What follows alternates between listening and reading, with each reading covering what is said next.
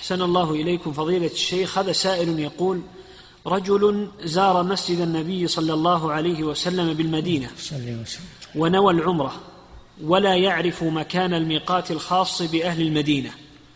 وتوجه إلى مكة دون إحرام معتقدا أن الميقات قبل مكة بسبعين أو ثمانين كيلو.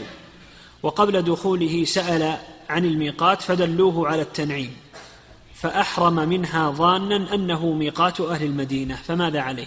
عمرته صحيحة ولكن عليه فدية عن ترك الإحرام من الميقات ميقات أهل المدينة. يكون عليه فدية لأنه ترك واجبا من واجبات العمرة. نعم.